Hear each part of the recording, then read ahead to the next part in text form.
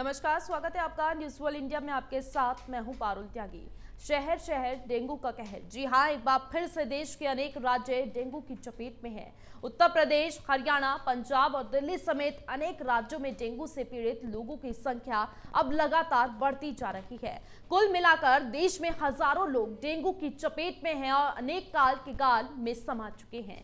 हालाँकि इस भयावह त्रासदी के बाद स्वास्थ्य विभाग की नींद टूटी है, लेकिन अभी भी इस बीमारी की रोकथाम के कार्यक्रम अनमने ढंग से चलाए जा रहे हैं। ये दुर्भाग्यपूर्ण ही है कि आज़ादी के बाद, आधी सदी बीत जाने के बाद भी जनता तड़प तड़प कर मरने को विपक्ष है और सरकारी अमला अपनी असफलता का ठीकरा एक दूसरे के सर पर फोड़ रहा है। साल 2000 तीन में डेंगू की तीव्रता को देखते हुए इससे बचाव के तरीकों पर गंभीरता से विचार किया गया था और इसे अधिसूचित बीमारियों की श्रेणी में रखा गया था। इसके बाद मानव अधिकार आयोग ने भी जीवन रक्षा के बुनियादी हक को देखते हुए डेंगू के फैलाव को मानव अधिकारों का खनन माना, लेकिन इसके बाद भी नतीजा थाक के तीन पात ही रहा है। इस बार डेंगू ने अपने भयावह रूप में एक बार फिर से हमारे सामने है और सरकार के सारे दावे और योजनाएँ बौनी साबित हो रही है। इसीलिए हमने, हमें अपना ख्याल खुद रखना है और खुद को सुरक्षित रखना है। इसीलिए आज हमारे साथ आपको बता दें, doctor S K Nanda CMS हैं, सिविल हॉस्पिटल के, वो जुड़ चुके हैं, जो डेंगू से जुड़ी तमाम जानकारी आपको देंगे, जिससे आप खुद को और अपने परिवार को सुरक्षित रख सकेंगे। डॉक्टर एस के नंदा, आपका बहुत बहुत स्वागत है न्यूज़ वर्ल्ड इंडिया पर। नमस्कार।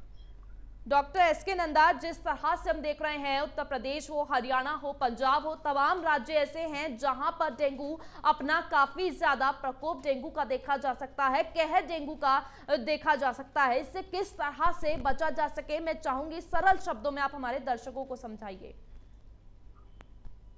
देखिए जहाँ तक डेंगू का सवाल है तो ये मच्छरों से फैलता है मच्छरों के काटने से ही फैलता है। जी। डेंगू एक वायरस की बीमारी है वेक्टर जनित है इसलिए इसको जड़ से खत्म करने के लिए मच्छरों से ही बचाव करना होगा।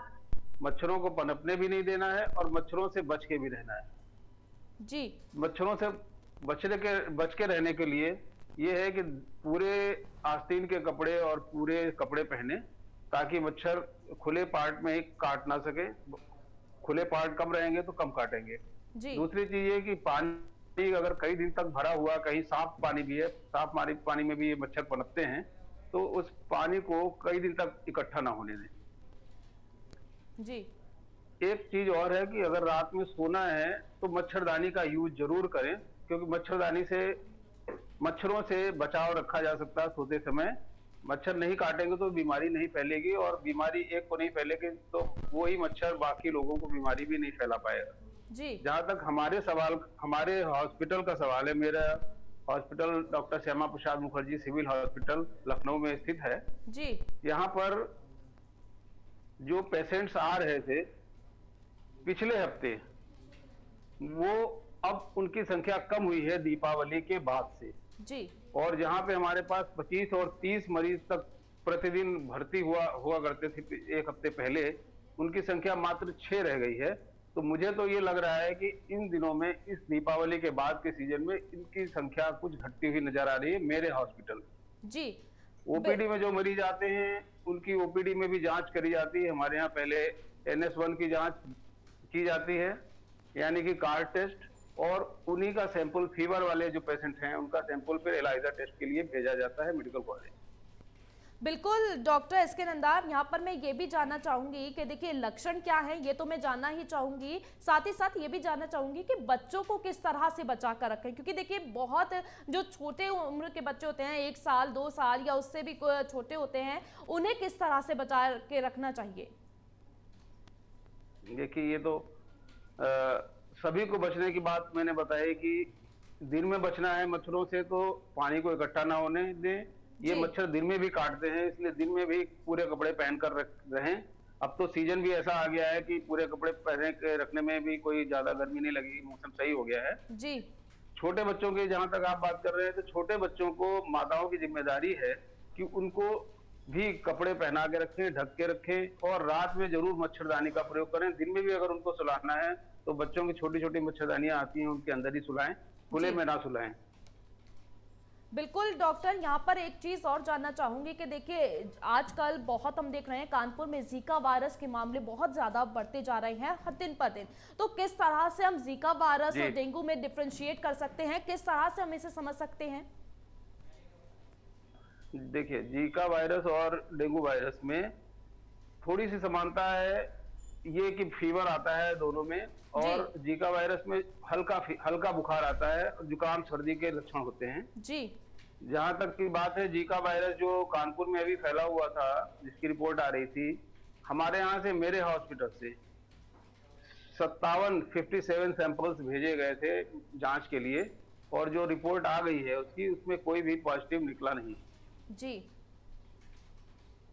बिल्कुल डॉक्टर एक चीज़ और यहाँ पर जानना चाहूँगी मैं कि जिस तरह से हम देखते हैं ये डेंगू जो है बीते कई सालों से चला आ रहा है। ये बीमारी अक्सर ये मानसून के बाद ये मानसून में पनपती है मच्छर जो है डेंगू के। लेकिन इतने साल बीत गए हर साल कई लाखों लोगों की जान भी चली जाती है डेंगू से। इसकी रोकथाम के लिए अब तक क्यों कुछ नहीं हो पा रहा है और क्या कुछ करने की ज़रूरत है हमें? देखिए ये आपको या सभी को मालूम है कि ये मच्छरों से ही फैलता है। जी। मच्छरों से बच के रहना है। ये सरकार की ज़िम्मेदारी के साथ साथ सरकार को अपना ज़िम्मेदारी पूरा करती है छिड़काव करके और बाकी लोगों को बता के पोस्टर छपवा के सब चीज़। लेकिन लोगों को अपनी भी ज़िम्मेदारी समझनी चाहिए कि वो कम से कम मच्छरों से खुद को बचा के रखें। खुद को बचाने के तरीके मैंने बताया कि दिन में फुल आस्तीन के कपड़े पहने पूरी आस्तीन के और पूरे